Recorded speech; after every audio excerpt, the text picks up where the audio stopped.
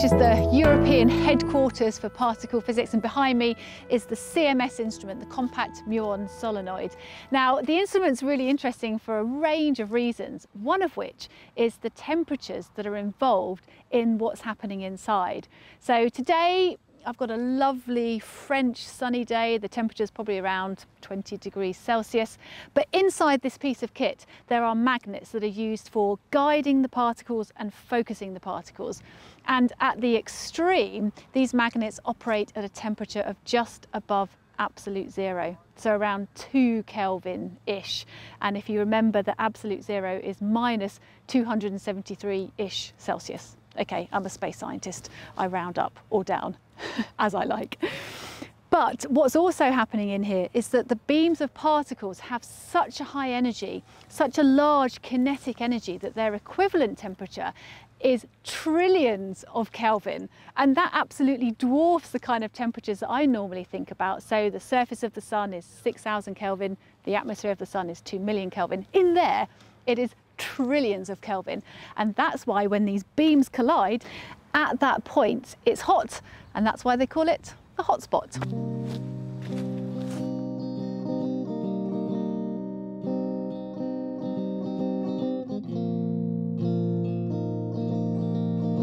Welcome to the cavernous entrance hall of the CMS experiment. And you can see just over my shoulder, there is a life-size picture of the detector itself. And running below my feet, actually shown by this yellow line, you can see the path of the protons that are whizzing around the Large Hadron Collider and that collide in the centre of this experiment. Now the reason this experiment is so famous is it's because experiments that took place here led to the discovery of the Higgs boson. And if you want to find out more about that particle, you can have a look at some of the other Cosmic Shambles videos. Now this piece of kit, I mean it's an enormous detector and it's not just about the science of what happens here because there were new technologies and new materials that had to be made in order for this instrument to be able to work. So for example, I found out earlier on that a new crystal was designed, a lead tungsten crystal, which is actually completely transparent. It's a really interesting material to look at. Now the reason that this crystal was developed is because it's used to measure the energies of the particles made in the collisions that take place here. So the particles, the collisions happen, the mess of particles comes out. Particle physicists might not want me to call it that way, but all these particles come out and you have to measure their energies. So what happens is they get absorbed into this lead tungsten crystal it causes the crystal to glow and that light is detected and it allows you to work out the energy of the particles that went in. So this place has gone down in history because of the Higgs boson. But I want to find out what's happening today. What is taking place 100 metres below my feet right now? This animation shows the path that the protons take so you can see the small ring and then the large ring is the really famous one that's 27 kilometres across. The protons start down at the bottom, close to where Atlas is, and uh, that's actually where we're staying. But today we are nine kilometres away at the top, and that's where CMS is located. Oh, I just remembered, one of the things I want to do here is check my compass. Okay, north is pointed, right, roughly straight ahead of me. Um, the reason for doing that will become apparent later on.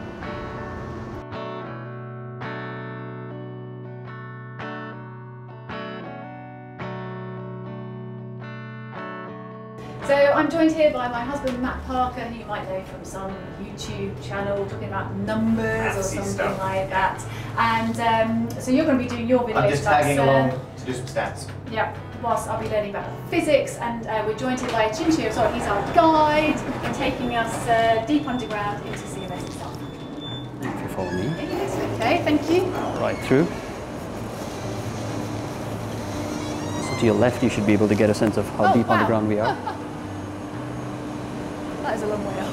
That is a very long way up. Did you? Well, we are a very long way down. Yeah, one or the other. Oh wow. The main reason why the LHC is so deep underground for example, if you go to um, to the outskirts of Chicago where Tevatron used to operate, this was the previous record holder for the highest energy collisions uh, operating at Fermilab. Um, that is just below the surface of the Earth. You can kind of see the curvature of the accelerator by the kind of ground that you're, you're standing on. Um, the reason the LHC is so deep underground is because this area was quite mushy when the ice retreated after the ice age. So it's only once you go about 70 meters underground that you hit the molasse, which is the hard rock, rock that is hard enough for us to build an accelerator in. And that's one of the things that I was telling you about, right? We can detect earthquakes happening in New Zealand, we can detect the position of the moon, we can detect when trains are traveling and so forth. So we need to have this machine in extremely hard rock so that it does not fluctuate at all, it does not move very much. So that's, that's why the LHC is as deep underground as it is. So that is the safest place in case of an emergency. Because the emergencies we, we don't expect, but the emergencies we're prepared for are gas leaks. Because we store uh, nitrogen and, and, helium under pressure here, and if there were a leak, then that would yeah. be what fills up our breathable air. So that's where we head into. And then there's actually a stairwell that goes behind the elevator shaft, not this one here, but one inside the pressurized zone. Oh, right, so you which, can breathe. Yeah, but we so use that, that we use that as a breakout area in case we have too many people trying to evacuate. Yeah. Then they go up the stairs to have some space before they take the lift. You, this underground area is some of the only places on the earth where the instructions in case of an, an emergency are do not take the stairs, take the lift. Get the yeah. lift. Yeah, which is. So do you have nitrogen monitors around this place? Then yes, there are. Um, there are. Um, I'll show you one. They're called oxygen deficiency monitors, and they're all around the site. And then they will flash, and there's they they detect them when the oxygen level goes below two stages. So at one point it's you need to start moving, and the other point is critical. Yeah. So that's when the alarm sound. Yeah. This is sort of where the where the detector control systems and so forth operate from. So we have all of this electronics that is embedded within the detector, and then we're controlling them. We're making sure that the that the temperatures are correct. We're making sure that the, that, that the detector components are working as they should, that the signals are arriving and so forth. So is this the brains of... Um, you can think of it in that sense, yeah. This seems like you can think of it as the brains. Actually, another way of... Um, the, the real brains, which is where the data analysis is done, is located upstairs. But this is part of the nervous system, so to, yeah. so to speak, yeah.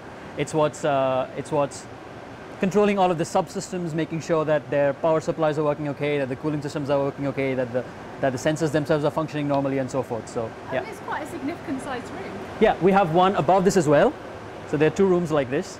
Um, and they're all devoted, they're dedicated to specific sub-detectors. So as I told you earlier, that CMS is made up of different sub-detectors from the inside to the outsides. And each of those subsystems has a separate monitoring system because some of them need to be cooled to very low temperatures, some of them need to be operating at room temperatures and so forth. So all of these are um, devoted, dedicated to specific sub-detectors of CMS. So we're also, as I, I was just telling Matt earlier, that we're standing right now in the underground service cavern, and there's an experimental cavern on the other side. And these yeah. two caverns were excavated at the same time.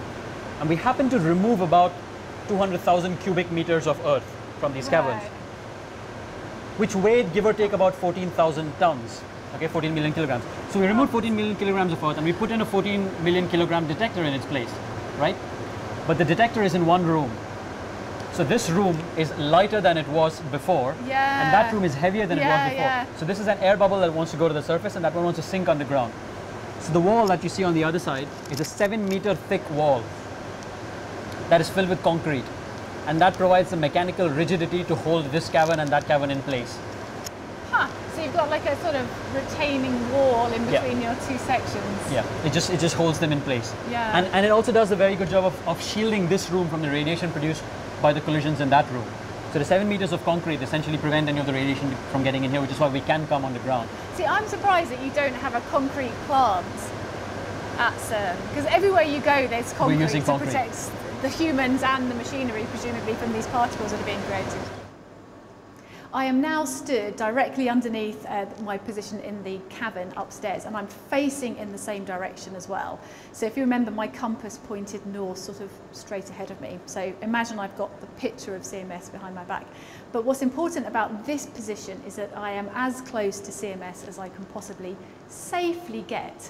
And CMS has an enormously strong magnet. So it produces a really strong magnetic field and I want to see if I can pick it up with my compass. So let me open the Compass app. Ah, okay, so there we go.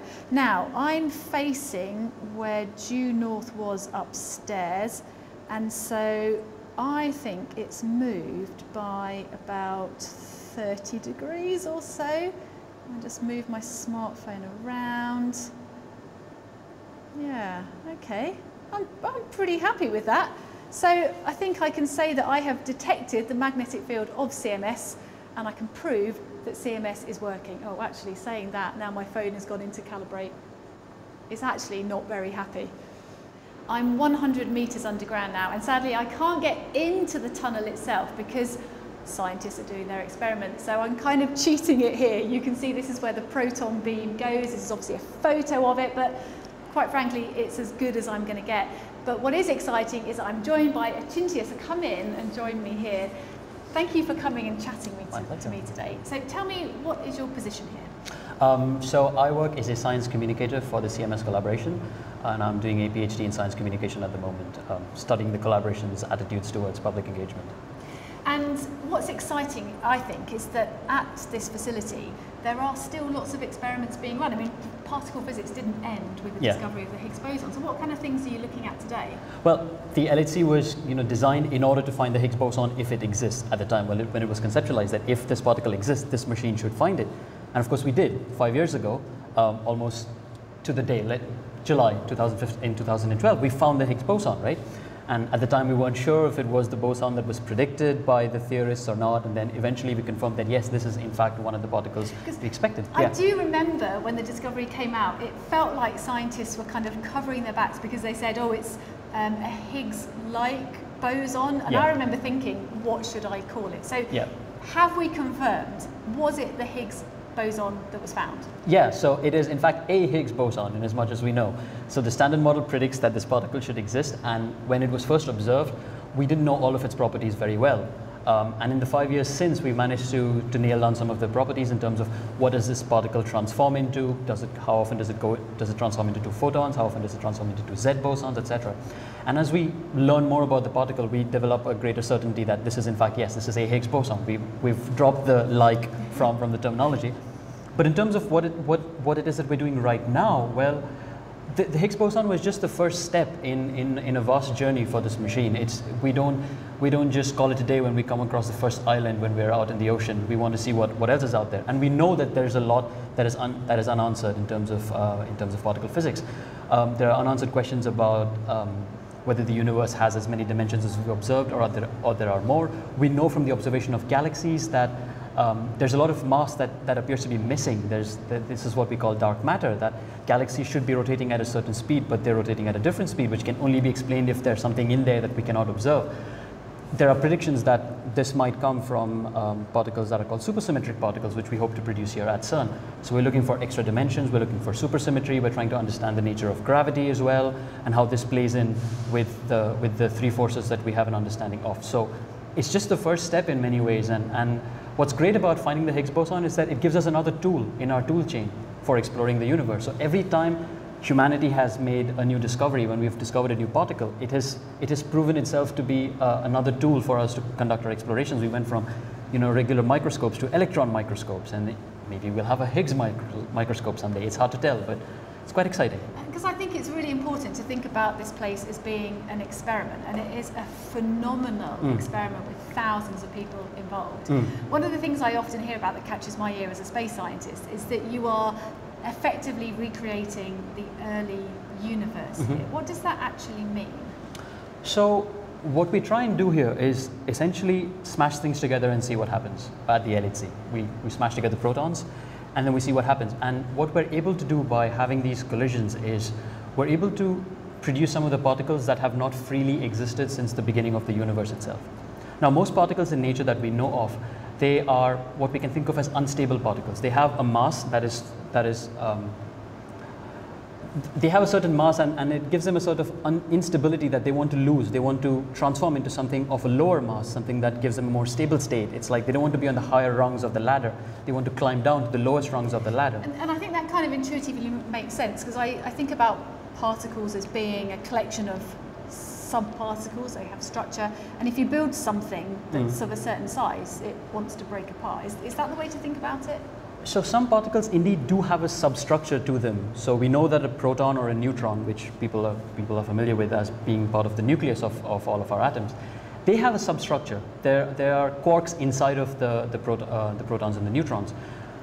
But electrons, for example, as far as we know, in as much as we are able to understand them, don't have any substructure. So it's not necessarily that they're breaking down into smaller particles, it's that they're transforming into lighter particles by emitting something else It, it's, it's not a concept that we should think of in terms of the macroscopic universe that we have. The, the, micros- the, the sort of quantum universe that we have is, is vastly different, and all of our analogies tend to break down when we think of them.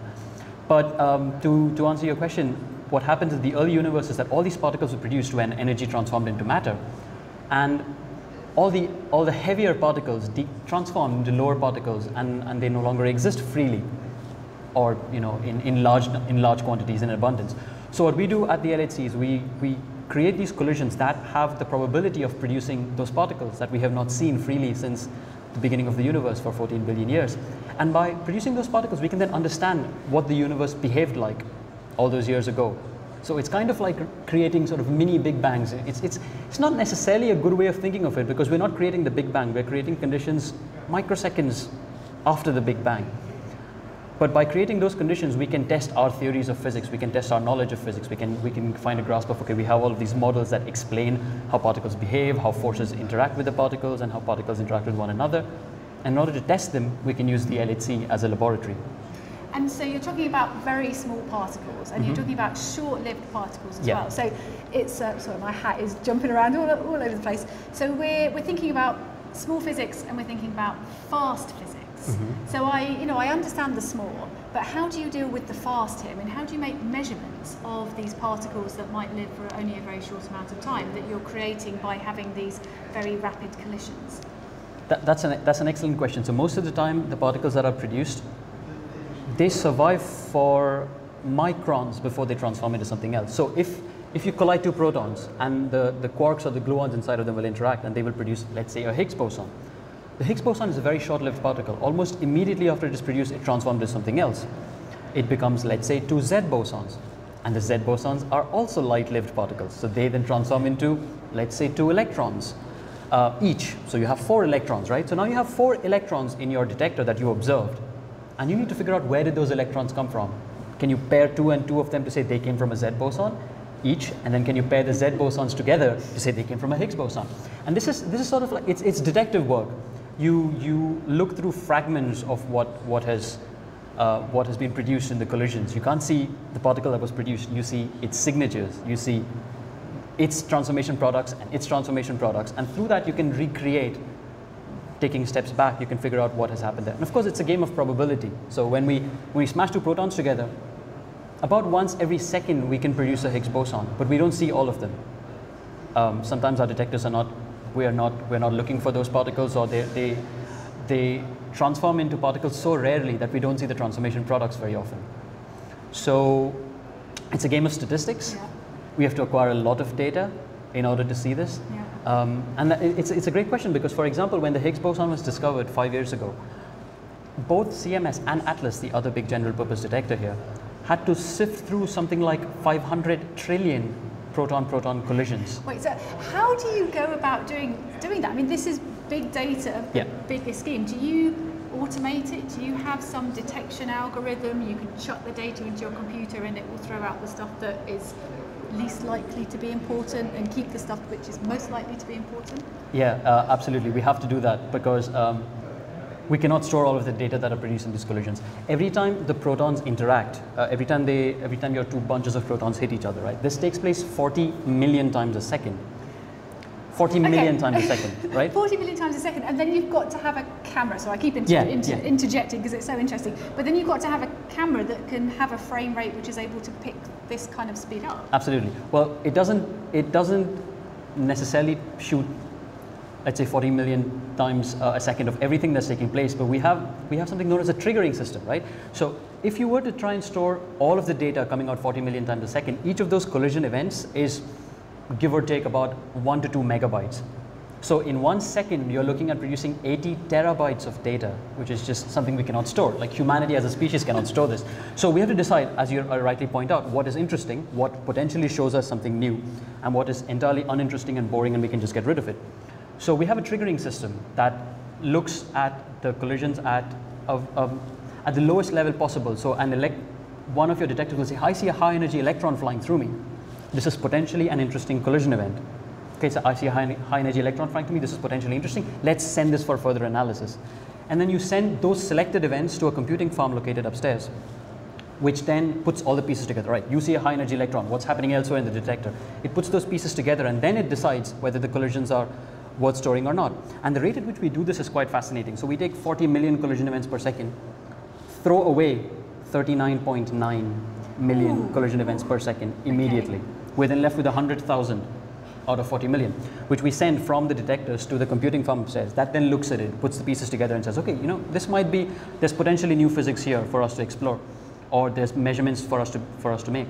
And then that stores about 400 to 1,000, let's say, per second. From 40 million, we're storing about 400. And the rest of the data are thrown away immediately. They're discarded. There isn't a recycle bin you can go and right click on and say, you know, get me my data back. I was back. just thinking, can, can we have that? You know, maybe there's something in there that if we just had the, the power and the capacity to search through, maybe, maybe there's some real nuggets.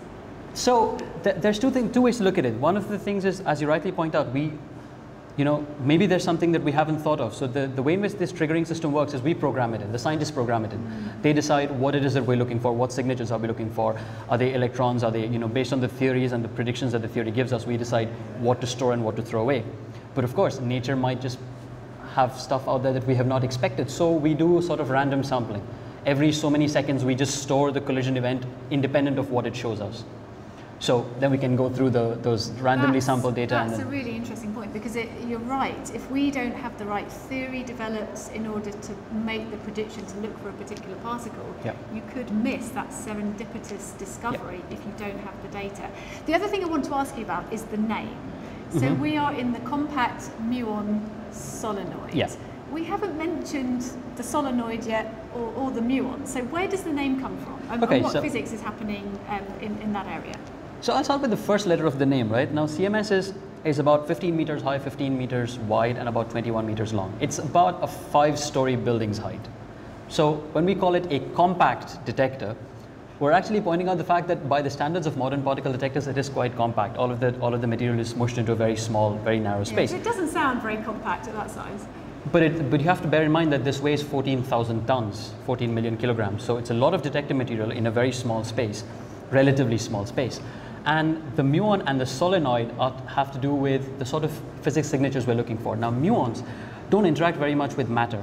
So when we see muons in our detector, we can get very so-called clean signatures of whatever physics has been produced at And, the, and at the collision. muons are a fundamental particle. That's right. Like so an electron. muons are heavier cousins of an electron. Absolutely, they have all essentially all the same properties of an electron, but they're about 200 times heavier than an electron, and they don't interact with matter. So in our detector, we have multiple layers of detection material, and the muons generally fly through the inner layers without leaving any major signature, and then we can detect them on the outskirts of CMS.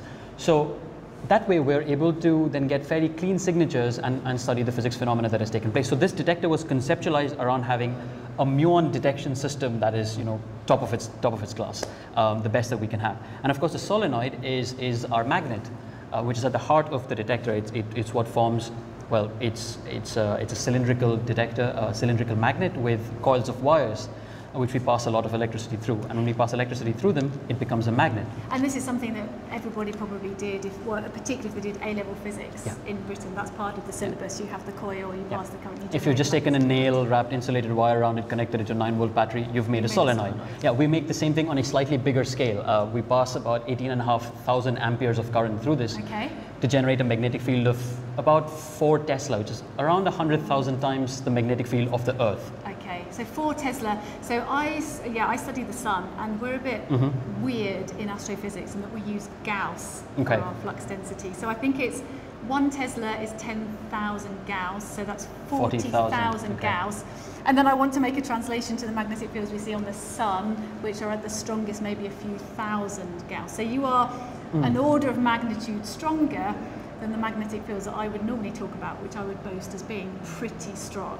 Well, it's also the scale. I imagine that the ones on the sun are a, are a lot larger than the ones That's that we true. have here. We trump So- on scale. Yeah. That's true. So we can get much higher uh, magnetic field magnets. So the LHC's magnets itself, that th- these blue things that we see behind us that are bending the particles as they fly around the ring, they go to 8 Tesla. So they are twice as they have twice the magnetic field that CMS does. But you can also see that they're much smaller in, in the size.